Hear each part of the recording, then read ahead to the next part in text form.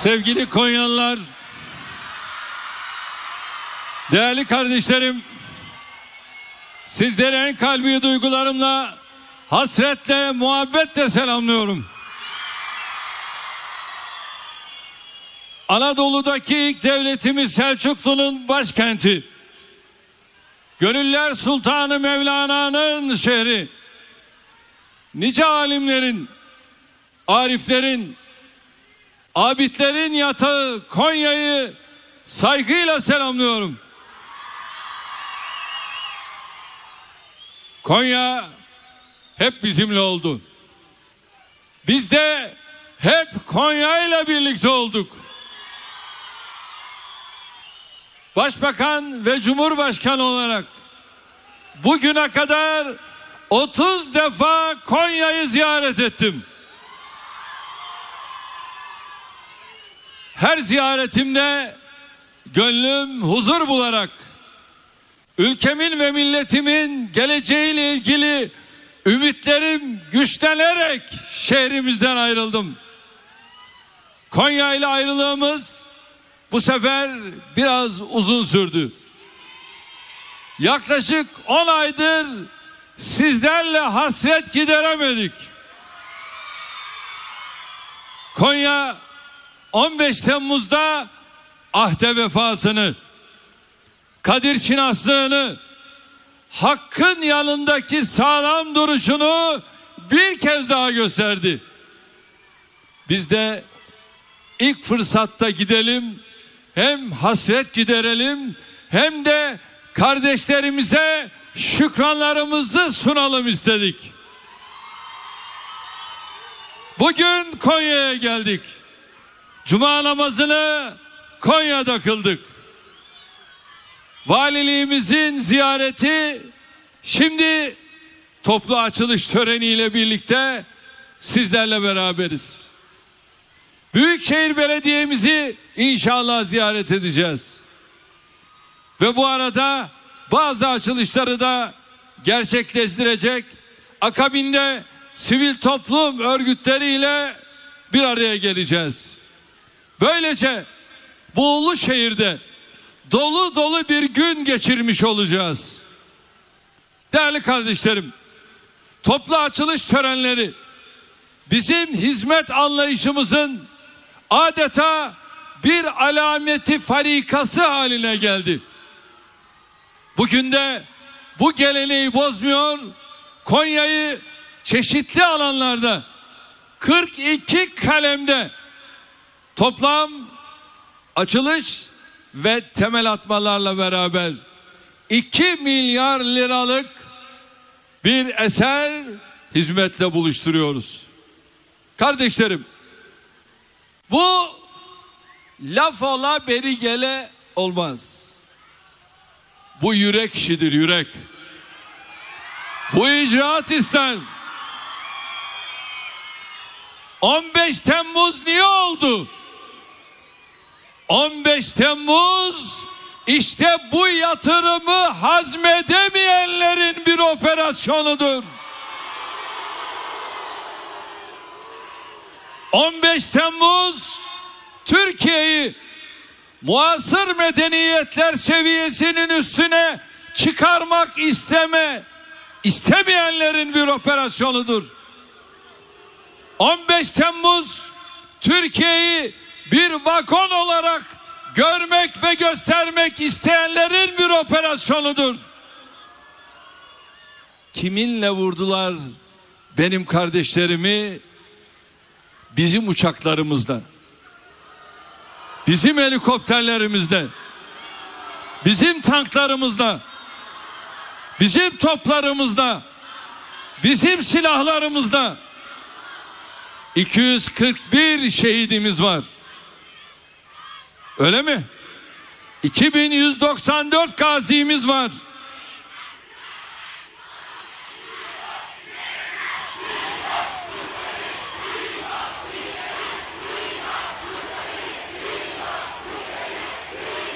Görüyorsunuz şehitler başımızın üstünde.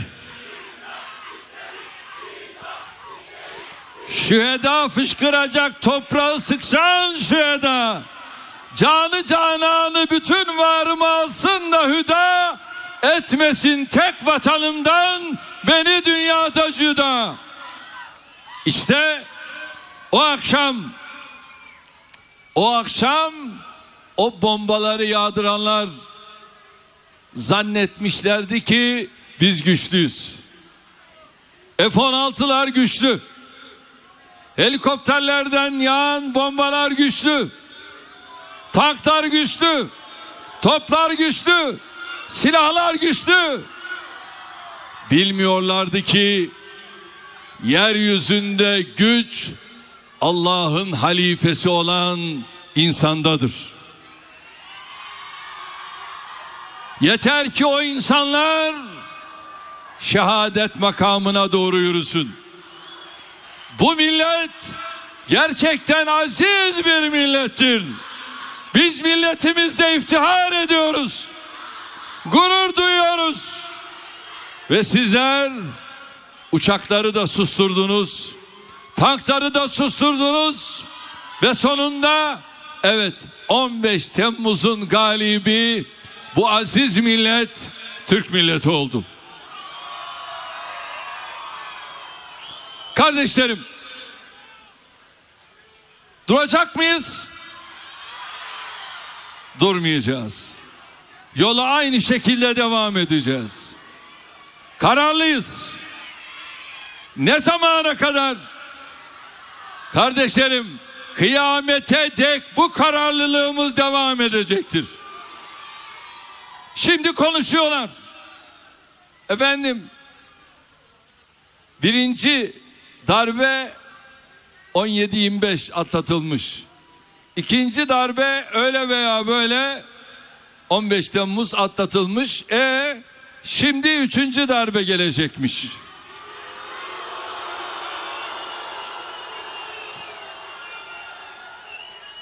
Bir tane ukala kendini bilmez köşesinden bir şeyler yazıyor.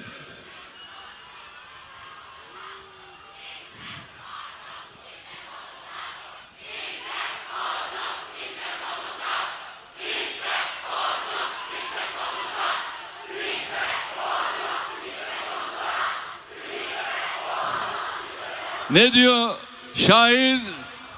Yürüyeceksin, millet yürüyecek arkandan.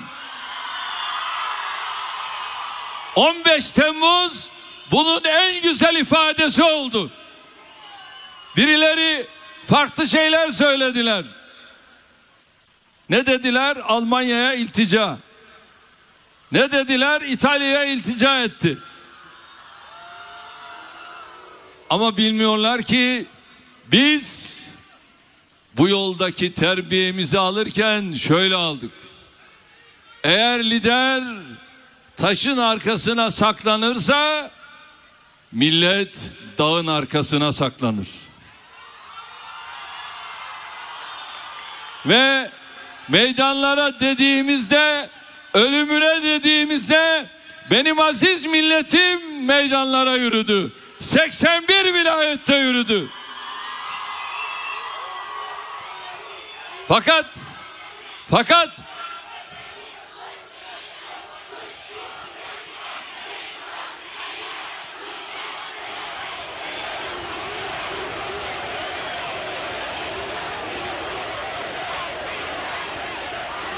Sevgili Konya.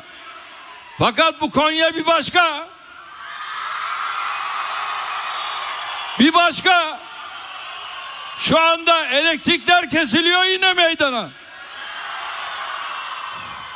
Su kesiliyor yine meydana.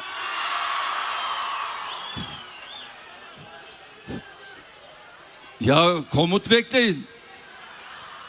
Evelallah biz biliyoruz. Konya'nın yüreğinin nasıl olduğunu biliyoruz. Ve evvelallah inşallah Selçuklu'nun başkentinden Kılıç Aslan'ın miğferinin ve oklarının yer aldığı bu meydandan başka bir şey çıkmaz. Evelallah. Herkes meydana dendiği zaman er meydanına evet Allah yine koşarız. Kardeşlerim bu kararlılıkla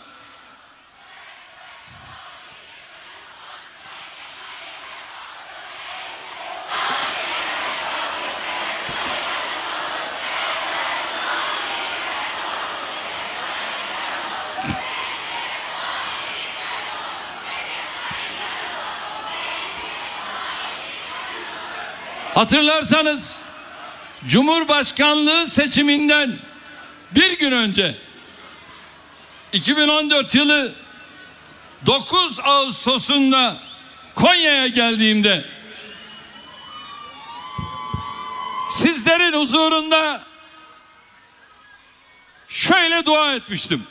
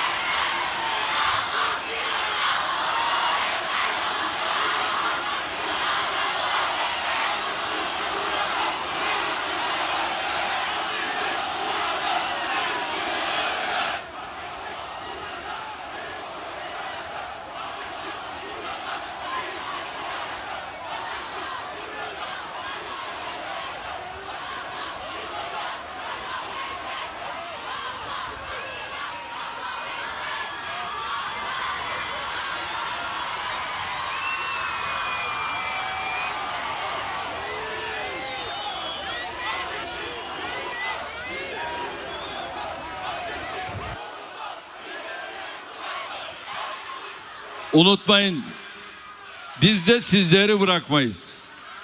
Hiç endişe etmeyin.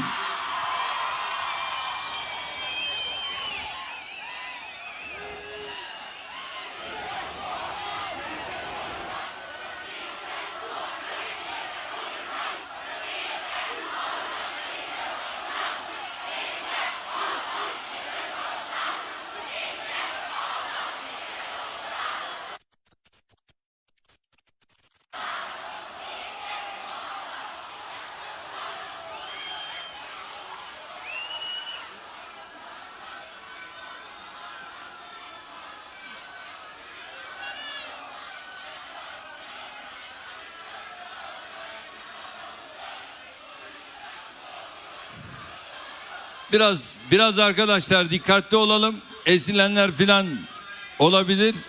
Aman dikkat.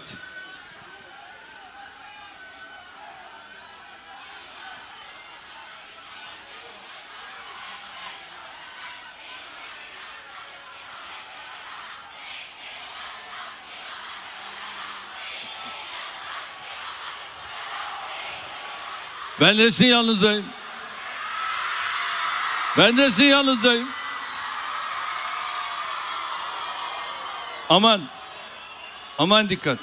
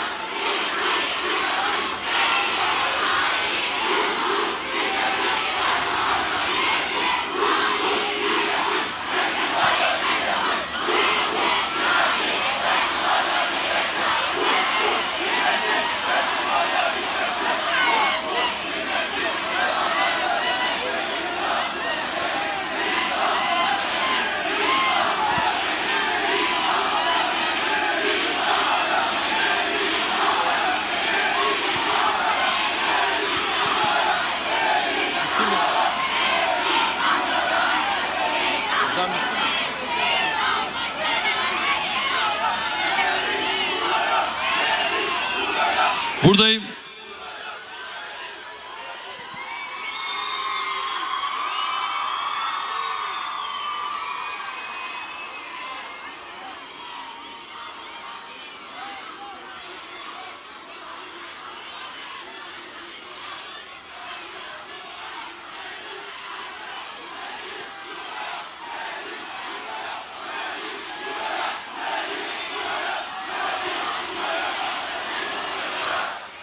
Cumhurbaşkanlığı seçiminden bir gün önce Konya'daydık.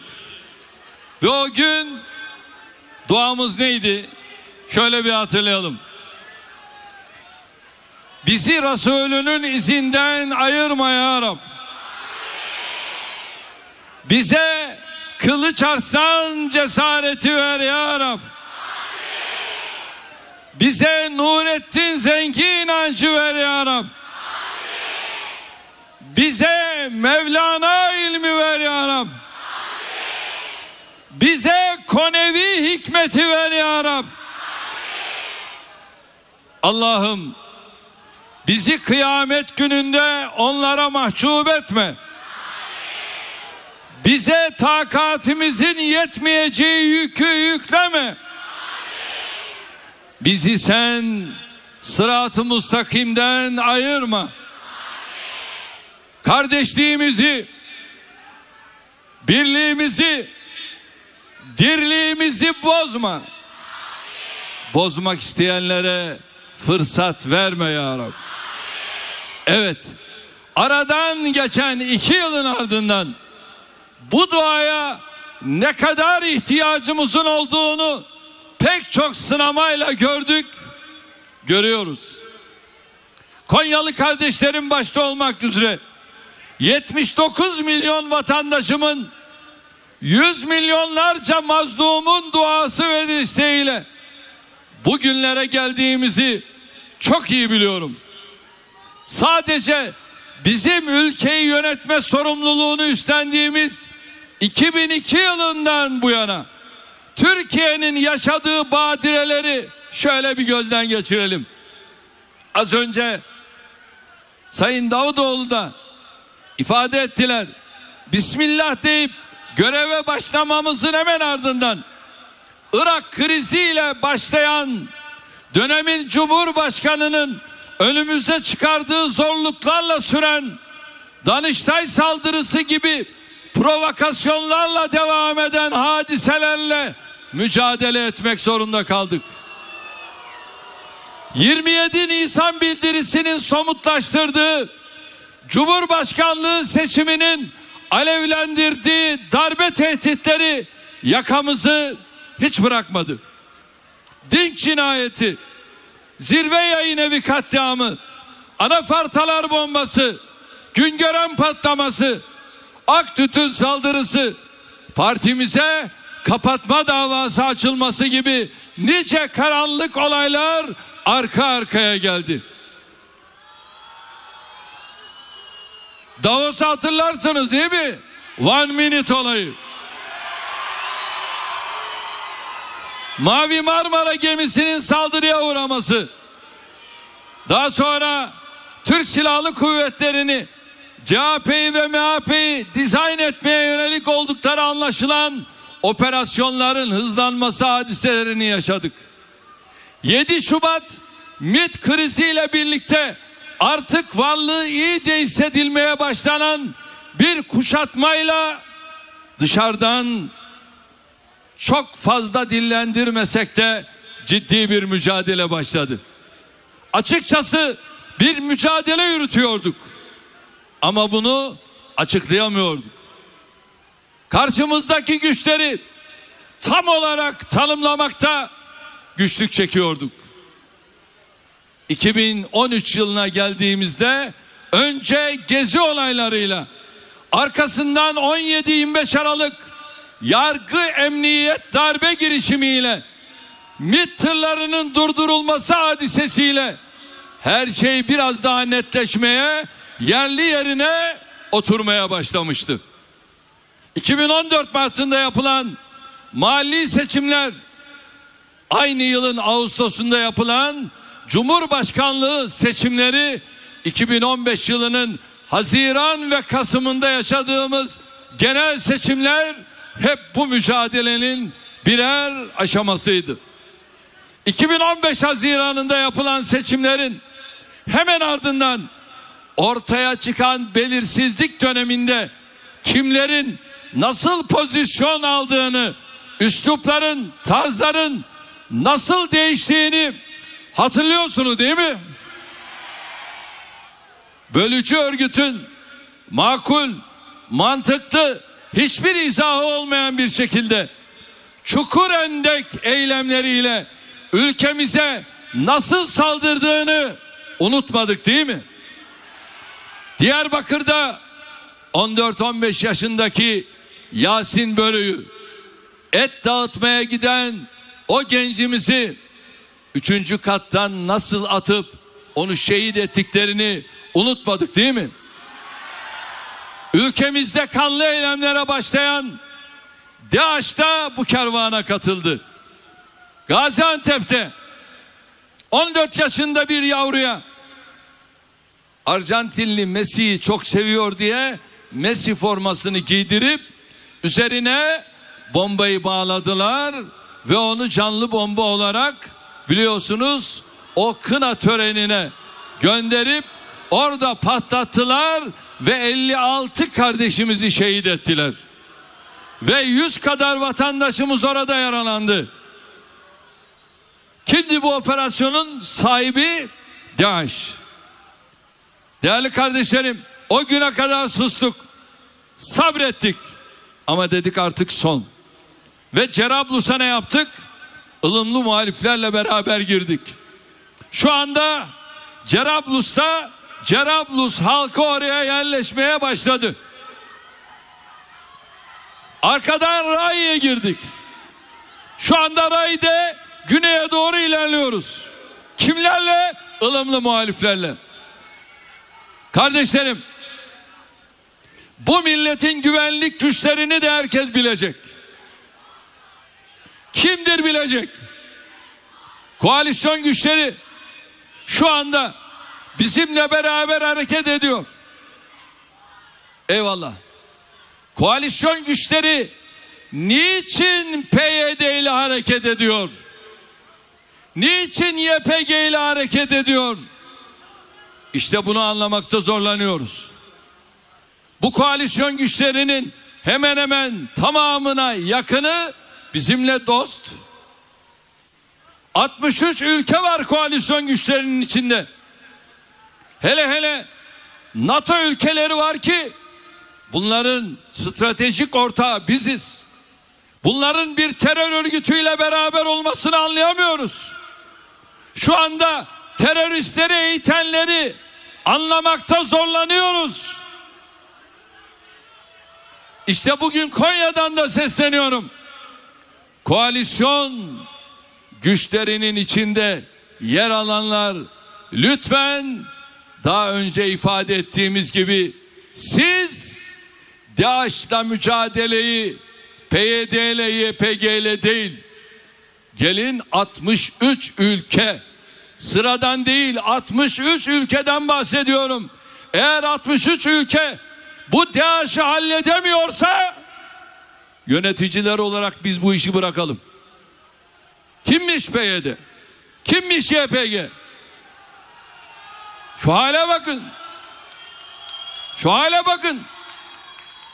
Ama oyun başka. Burada bir tuzak var. Tuzak başka. Oyun bizim üzerimizde oynanıyor. Kusura bakmasınlar. Biz bu oyuna ne Suriye'de ne Irak'ta prim vermeyeceğiz. Siz bize bu yetkiyi verdiğiniz sürece biz bunlara prim vermeyeceğiz. Ve sonuna kadar üzerine üzerine gideceğiz. Bakınız ne diyorlar? Biz PYD ve YPG'ye silah desteğini vermeye devam edeceğiz diyorlar. Nerede diyorlar bunu? Amerika'daki seçim kampanyasında diyorlar. Yazıklar olsun. Yazıklar olsun. Senin NATO'da ortağın PYD mi? NATO'da ortağın YPG mi? NATO'daki ortağın Türkiye mi? Eğer Türkiye ise bizimle masaya oturacaksın, adımı da bizimle beraber atacaksın. Eğer biz size diyorsak ki yanlış yapıyorsunuz. DAEŞ'la mücadele ise sizin hedefiniz, terör örgütleriyle mücadele ise ha burada bizimle işbirliği yapıp gereğini yapacaksın. Biz bu işi bitiririz. Ve nitekim şu anda çok ciddi bir mücadele yürütüyoruz. Açık konuşmak lazım. Biz her terör örgütünden her türlü ihaneti, alçaklığı, kahpeliği bekliyoruz.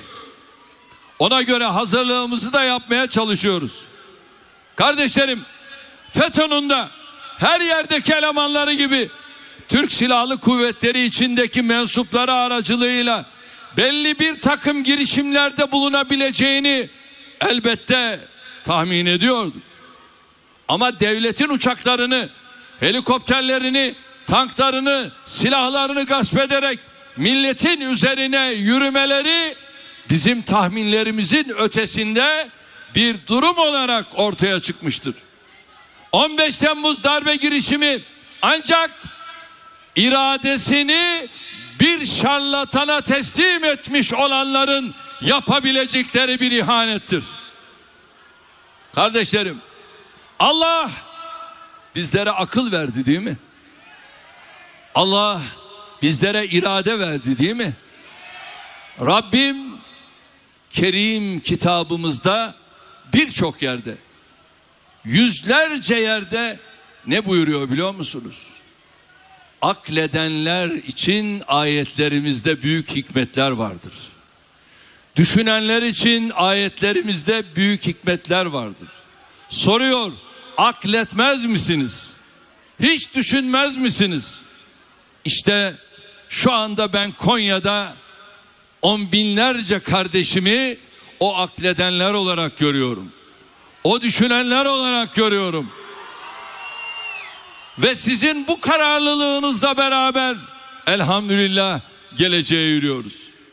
İşte bu yapının içinde olanlardan 15 Temmuz'dan sonra gerçek anlamda pişmanlık duyan pek az kişi olduğunu görüyoruz. Ne diyordum ben meydanlarda? Ne diyordum? Tabanı ibadet. Ortası ticaret, tavanı ihanet. Aynen böyle oldu mu? Oldu. Ama bir şey daha diyordum. Neydi o? İnlerine gireceğiz, inlerine. Girdik mi? Ama daha bitmedi. Daha devam ediyoruz. Kaçacak delik arayacaklar. Şimdi yeni uygulamalar geliyor. Bu yeni uygulamaların adımlarını da atacağız. Fazla sürmez. Şöyle birkaç hafta içerisinde bunları da göreceksiniz. Eğer bu milletin evladı olduklarını kabul ediyorlarsa gereğini yapacaklar. Eğer bu milletin evladı değillerse gereğini biz yapacağız. Olay bu kadar açık net. Hala bir kısmı 15 Temmuz'u FETÖ denen bu ihanet çetesinin gerçekleştirdiğine inanmıyor. İnanmak istemiyor. Bir kısmı meseleyi başka türlü tevil etmenin çabası içinde. Bir kısmının da 15 Temmuz'la ilgili tek pişmanlığı darbenin başarıya ulaşamamış olmasıdır. Hakikat güneş gibi ortada. Kardeşlerim artık bunları biz yutmuyoruz. Ve biz biliyoruz ki FETÖ PKK'dan daha da tehlikelidir. Herkes bunu görsün. Ama bunların gözleri var görmüyor. Kulakları var duymuyor. Dilleri var konuşmuyor. Çünkü kalpler mühürlü. Kendileri bilirler. Millet ve devlet olarak bizim artık bu örgüte bakışımız Milli Güvenlik Kurulu'nda aldığımız kararla diğer terör örgütlerinden geri değildir. PKK'ya bakışımız neyse, DAEŞ'e bakışımız neyse bunlara bakışımız da budur. Kendi itikadi sapkınlıkları, kendi hayal dünyaları sadece onları ilgilendirir. Bizim inancımızda samimiyetle Rabbimize yönelmeleri halinde tövbe kapısı herkese daima açıktır. devletimizin şefkat kolları da herkese açıktır. Gelsinler, bildiklerini anlatsınlar, pişmanlıklarını dile getirsinler. Hukuk onlara bir kolaylık sağlar. Kardeşlerim, Konya, Marmaris'te bu kardeşinizi, eşimi, bunun yanında damadımı, kızımı, torunlarımı öldürmeye gelenler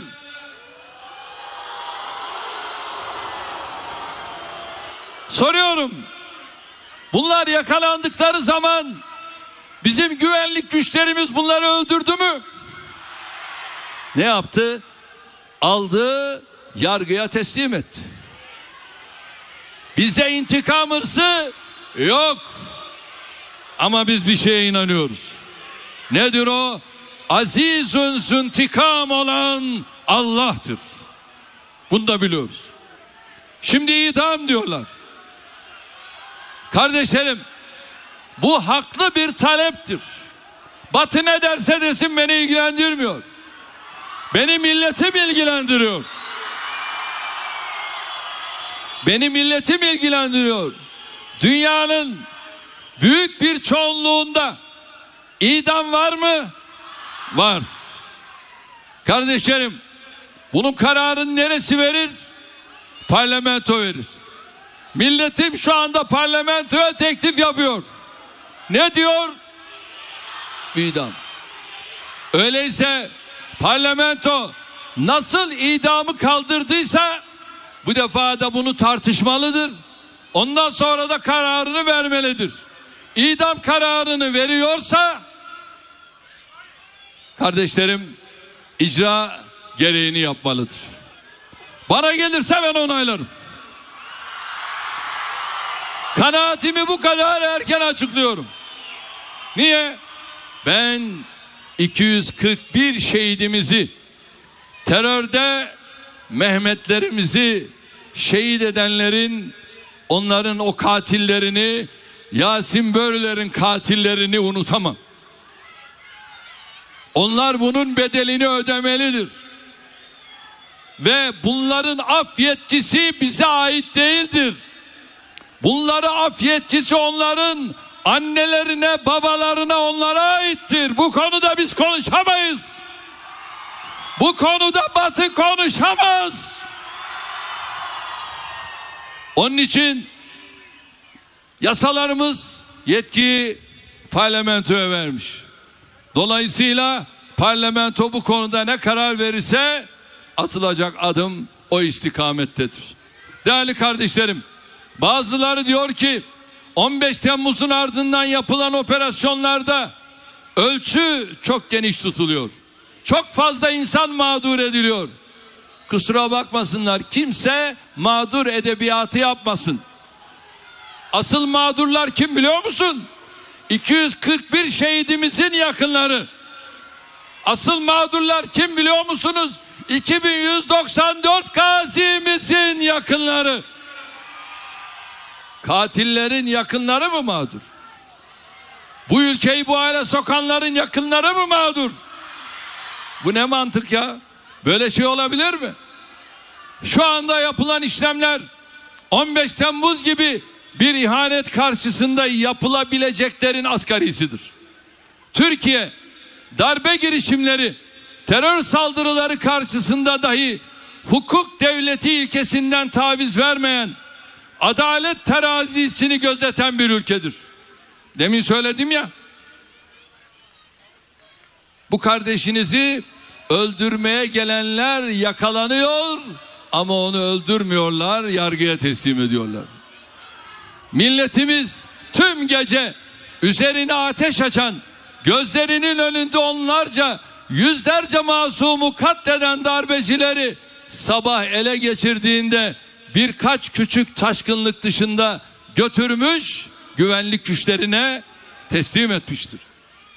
Güvenlik güçlerimiz de aynı şekilde tüm gece kendilerine bomba ve kurşun yağdıran bu kişileri gerekli soruşturma işlemlerinin ardından adalete teslim etmişlerdir. Kardeşlerim şöyle geriye doğru biraz esnersek ön taraftaki kardeşlerim ciddi manada rahatsız oluyorlar. Cezaevlerindeki işkence iddiaları, iddiaları fiilen yalandır. Diğer mahkumlar hangi şartlarda cezaevinde kalıyorlarsa onlar da aynı şartlarda barındırılıyor. Darbe girişimine maruz kalmamıza rağmen devletimizin ve milletimizin yüzünü kızartacak hiçbir hadiseye meydan vermeden bu süreci yürüttük, yürütüyoruz. Elbette eksikler olabilir. Yanlışlar çıkabilir. Tespit edilir edilmez. Bunlar konusunda da gereken yapılıyor ve yapılacaktır. Ama mağduriyet edebiyatıyla 15 Temmuz'un hesabının sorulmasının önüne geçmeye çalışanlar varsa beyhude yere uğraşıyorlar. Kusura bakmasınlar. Kardeşlerim bir kez daha söylüyorum. 15 Temmuz'un hesabının sorulması konusunda yapılanlar yapılabileceklerin en asgarisidir. Biz şayet darbe başarılı olsaydı FETÖ mensuplarının bize ve milletimize neler yapacaklarını çok iyi biliyoruz. Eğer 15 Temmuz'da milletimizin cesur ve kararlı duruşu olmasaydı muhtemelen bugün Türkiye Suriye gibi Irak gibi geçmişteki Lübnan gibi iç savaş ateşiyle yanan bir ülke haline gelmiş olacaktı. Türkiye'yi böyle bir uçuruma yuvarlamak isteyenler görevden alınmış, mahkemede hesap vermek üzere tutuklanmış, finansman kaynaklarına el konmuş. Çok mu? Hiç kimse şu gerçeği aklından çıkarmasın. Bugün Türkiye eğer böyle güven içindeyse bugün Konya'da bu şekilde sizlerle hasret giderebiliyorsak bugün Suriye'de Irak'ta bekamıza yönelik tehditlere karşı kararlı bir mücadele yürütebiliyorsak işte o FETÖ alçaklarından büyük ölçüde temizlendiğimiz için. Daha temizlik şart. Görevden almalar şart. Olması lazım. Bunlar olmadan sırtımızı nereye dayayacağız?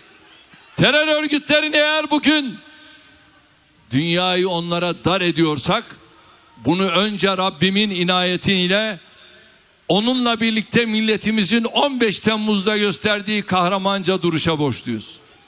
Asıl bu darbenin hesabını hakkıyla sormamak milletime haksızlık olur hatta ihanet olurdu. Bunun için diyoruz ki FETÖ'nün de PKK'nın da DAEŞ'ın da ülkemizin ve milletimizin düşmanı kim varsa onların da kökünü kurutmadan bu mücadele bitmeyecek. Şimdi hazır mısınız? Ne diyoruz biz? Tek millet. Öyle mi? Türküyle, Kürdüyle, Lazıyla, Çerkeziyle, Gürcüsüyle, Avazasıyla 80 milyon tek millet.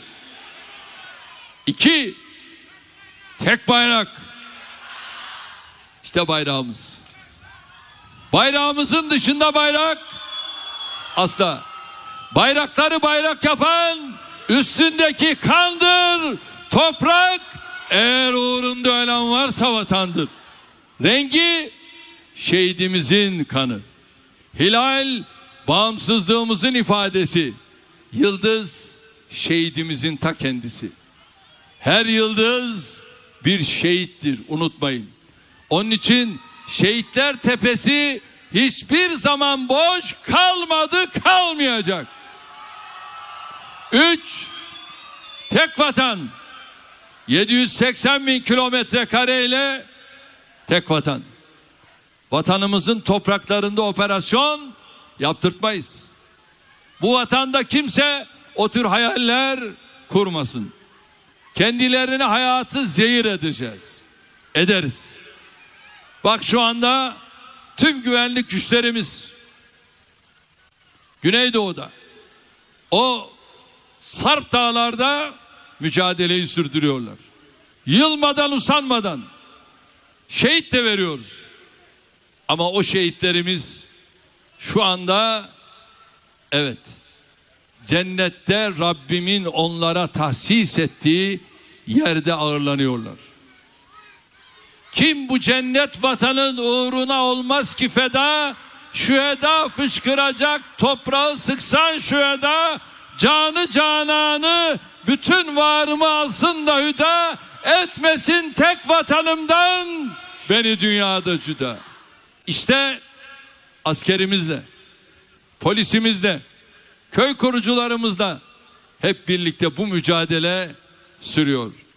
Ve dört, Rabia, tek devlet, tek devlet, devlet içinde devlet olur mu?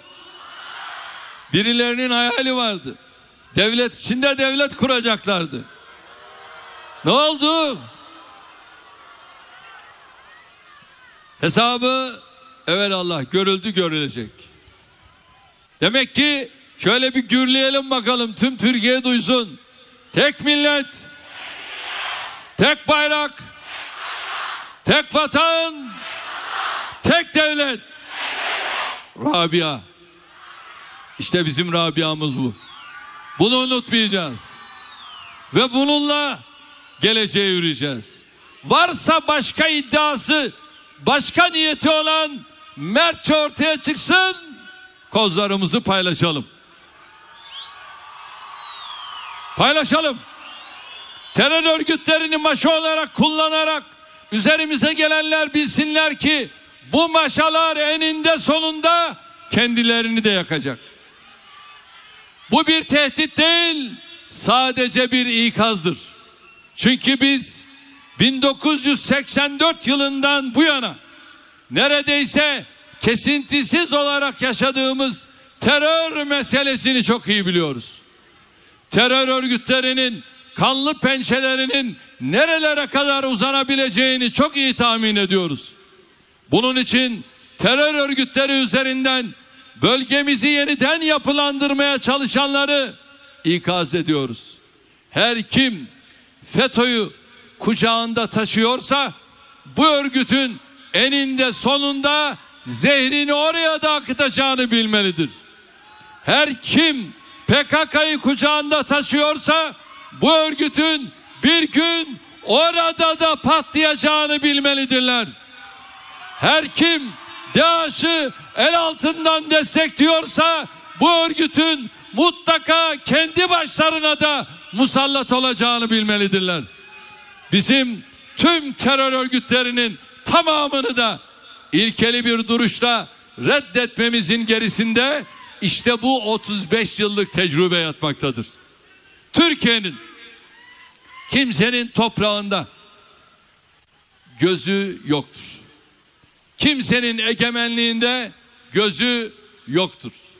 Biz işte bu tecrübeyle kendi geleceğimizi, bölgemizdeki kardeşlerimizin geleceğini güvence altına almak için bugünden yapmamız gerekenleri yapıyoruz. Bugün Suriye'de, Irak'ta terör örgütlerinin karşısına dikilmezsek, bölgeyle ilgili hesapları bozmazsak yarın bunun bedelini hep birlikte ödeyeceğimizi biliyoruz. Kardeşlerim bazıları diyor ki Başika'dan çıkın. Başika'dan çekilin. Ya biz elimizi kolumuzu sallaya sallaya oraya gelmedik ki. Başika'ya bizi davet eden sizsiniz. Bizi Başika'ya davet ettiniz. Şimdi de buradan çıkın diyorsun kusura bakma. Orada benim soydaşlarım var. Orada Türkmen kardeşlerim var. Oralarda benim Arap kardeşlerim var. Oralarda benim Kürt kardeşlerim var. Bize gelin diyorlar. Bize yardımcı olun diyorlar. Ve Sayın İbadi az önce Sayın Davutoğlu söyledi. İşte bizi ziyarete geldiğinde bizzat kendisi bu talebini yaptı. Onun üzerine biz de oraya gittik. Şimdi oradan çekilmek kusura bakma. Şu anda koalisyon güçlerine biz talebimizi arkadaşlarım bugün veya yarın iletecekler. Biz Irak'ta Irak'ın birliği beraberliği için koalisyon güçleri içerisinde yerimizi almakta kararlıyız. Ha koalisyon güçleri eğer Türkiye'yi istemiyorlarsa B planımız devreye girer. O da olmuyorsa C planımız devreye girer. Bunları da Konya'dan şu anda sesleniyorum. Kardeşlerim, Türkiye Cumhuriyeti Devleti bir kabile devleti değildir bunu böyle bilsinler. Şöyle geriye doğru bir asırlık geçmişe baktığımızda bir gerçek görüyoruz. Hatta o kadar uzağa gitmeye gerek yok. Körfez Savaşı'na kadar giden çeyrek yüzyıllık yakın tarih bile tek başına bazı gerçekleri göstermeye yeter. Onun için diyoruz ki kimse bizi iç işlerine karışmakla itham etmesin. Biz kimsenin iç işlerine karışmıyoruz. Biz sadece kendi vatanımızın, kendi milletimizin geleceğini güvence altına almaya çalışıyoruz. Bu çaba aynı zamanda bölgedeki tüm kardeşlerimizin güvenliğinin sağlanması anlamına geliyor. Şu bir gerçektir. Türkiye güvendeyse bölgedeki herkes için bir umut vardır. Türkiye güvende değilse zaten kimse bölgede güvende değildir. Kardeşlerim, yaşadıklarımızdan ders alarak daha güçlü, daha büyük, daha müreffeh bir Türkiye için çalışmak, ülkeyi yönetme sorumluluğu üstlenen herkesin boynunun borcudur. Eğer bugünümüzü dünden daha iyi hale getirmek için çalışmıyorsak millete karşı vazifemizi hakkıyla yerine getirmiyoruz demektir. Türkiye'nin son 14 yılı demokrasiden ekonomiye, güvenlikten adalete kadar her alanda çok zengin tecrübelere sahip olduğumuz bir dönem olmuştur. Her şeyden önce Cumhuriyet tarihimizin en uzun istikrar ve güven ortamını yaşadık. Ne darbe teşebbüsleri, ne vesayet girişimleri, ne terör saldırıları, ne küresel krizler bu ortamı bozmaya yetmemiştir. İşte Konya'da ne gibi yatırımlar yaptığımızı biliyorsunuz değil mi? Konya bunun en yakın şahidi midir? Elhamdülillah. 14 yıl önce Ankara'dan Konya'ya gelmek neydi? Şimdi ne? Uçakla mı geleceksin? Gel. Trenle, raylı sistemle mi geleceksin? Gel. Yollar duble. Otoyol. Nasıl istiyorsan öyle gel. Gel. Ne olursan ol yine gel. Nasıl istiyorsan öyle gel. Elhamdülillah. Ve bakıyorsunuz mavi tüneller. İnşallah şimdi yeni tüneller de yapılıyor. Milletimiz her türlü tehdide ve saldırıya karşı iradesine, özgürlüğüne, demokrasisine, geleceğine sahip çıktı. Bak Marmaray şu anda İstanbul Boğazı'nda Marmaray'dan 3 yılda geçen insanların sayısı ne kadar oldu biliyor musunuz? 160 milyon. Denizin altından. 160 milyon. Şimdi Avrasya Tüneli bitiyor. İnşallah 20 Aralık'ta onu açıyoruz. Oradan da çift katlı otomobiller geçecek. Geçen günü kontrole gittik. Hamdolsun. Bitiyor. Ve bu tabi 15 Temmuz Şehitler Köprüsü'nün yükünü ne yapacak? Azaltacak. Bitmedi. Yavuz Sultan Selim Köprüsü'nün açılışını yaptık. 2 çarpı 4 yani 4 gidiş 4 geliş. Dünyanın en geniş köprüsü bir numara. Ortasından da Yüksek hızlı tren geçecek. Nereden nereye? Ama yine bitmedi. Bir de ne yaptık? İstanbul'u İzmir'e bağlıyoruz. Neyle? Osman Gazi Köprüsü'yle. Hamdolsun onun açılışını da yaptık. Şimdi önümüzde iki tane önemli adım var. Bir, Çanakkale'ye geliyorsunuz gidiyorsunuz. Çanakkale'de sizi Avrupa'dan Asya'ya, Asya'dan Avrupa'ya artık denizden geçirmeyeceğiz. Ya 18 Mart'ta inşallah yeni bir adım atıyoruz. Çanakkale Köprüsü. Şimdi onu yapacağız. Bir taraftan da Karadeniz'i Marmara'ya Kanal İstanbul'la bağlayacağız. Onun da adımını atıyoruz. Bu millet engel tanımayacak Allah'ın izniyle. İnşallah bizim için engel yok. Bunların hepsini açacağız.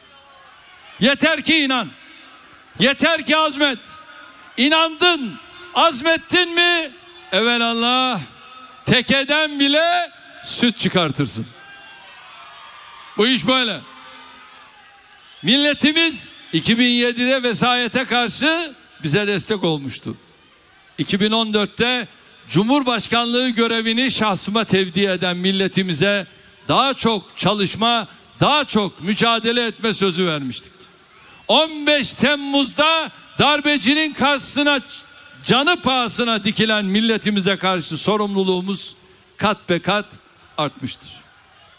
Şimdi yürüyoruz. Durmadan yürüyeceğiz. Durmak yok. Eyvallah. Ve fiili bir durumla karşı karşıyayız. Bu durumun zemini 2007 yılında Cumhurbaşkanını doğrudan halkın seçmesini öngören anayasa değişikliğiyle oluşturulmuştur. Şimdi milletim ne diyor? Yapılan kamuoyu araştırmalarına baktığımızda milletim başkanlık sistemi diyor. Milletim diyor. Ben de diyorum ki parlamentodaki siyasi partilerimize egemenlik kayıtsız şartsız milletin değil mi? Milletin gelin millete götürelim.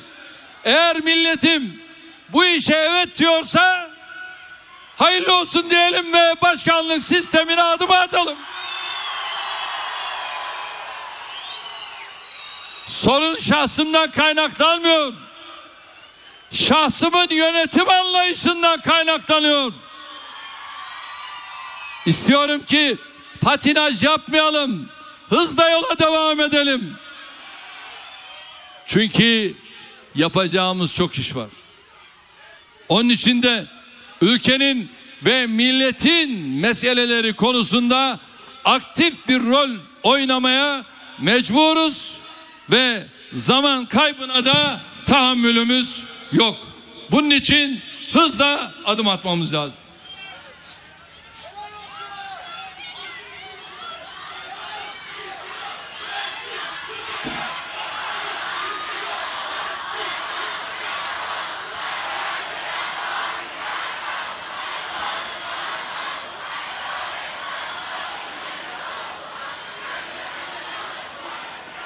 Kardeşlerim artık siyaset kurumunun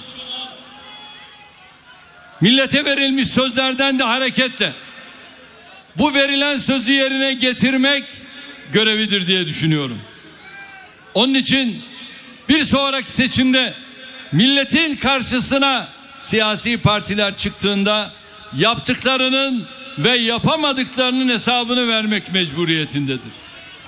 Ben milletime verdiğim sözlerin gereğini yerine getiriyorum. Getirmeye de devam edeceğim. Ama bizim sistemimiz meclis tarafından seçilen Cumhurbaşkanlığı makamını daha çok vesayet sistemi altına alıyor ve bundan dolayı burada bir sıkıntı var.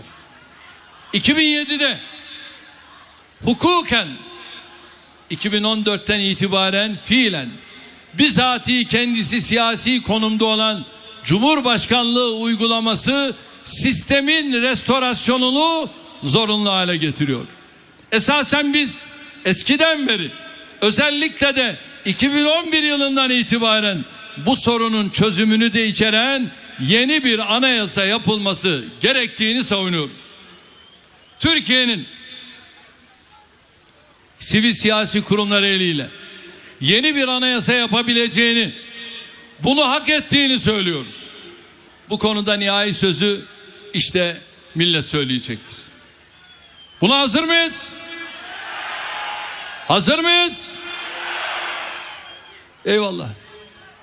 Millet hazırsa mesele yok. Siyaset kurumunun yeni anayasa ve başkanlık sistemi konusunda inisiyatif alması partilerimizi zayıflatmaz, tam tersine güç kazandırır.